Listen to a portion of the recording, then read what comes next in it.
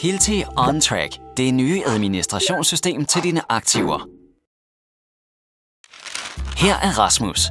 Han arbejder som lagerarbejder i et byggefirma. Og her er hans chef Paul.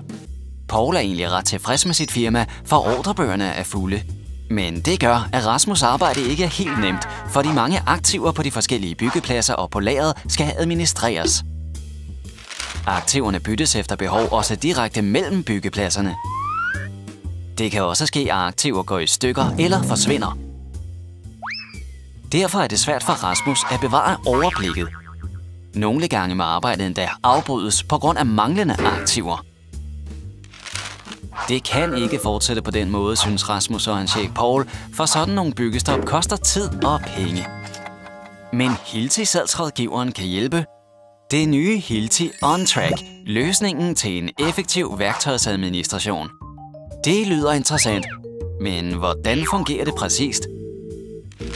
Hilti salgsrådgiveren forklarer, at Hilti OnTrack fungerer på den måde, at alle aktiver påføres robuste RFID-etiketter med stregkode. Disse bliver registreret med en RFID-scanner og forbundet med aktivernes produktdata. På den måde kan man i en database for hvert aktiv tilføje informationer, som f.eks. produktspecifikationer, afdeling, ansvarlige personer eller vigtige kontrol- og servicetidspunkter og finde dem hurtigt. Denne database ligger i en sikker cloud og er dermed altid opdateret og tilgængelig for alle afdelinger på forskellige læseenheder. Da Hilti OnTrack er en webbaseret løsning, fungerer alt helt uden installation. Og takket være Hilti-servicen kan alle informationer indtastes hurtigt, og medarbejderne kan uddannes omgående. Rasmus er begejstret. Med Hilti OnTrack har han nu overblikket over alle aktiver. Nu ved han altid, hvor de nødvendige aktiver befinder sig, og kan dirigere dem målrettet hen til byggepladsen.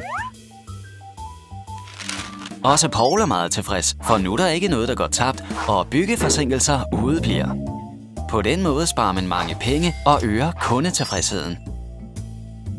For flere informationer om Hilti OnTrack, kontakt din Hilti salgsrådgiver.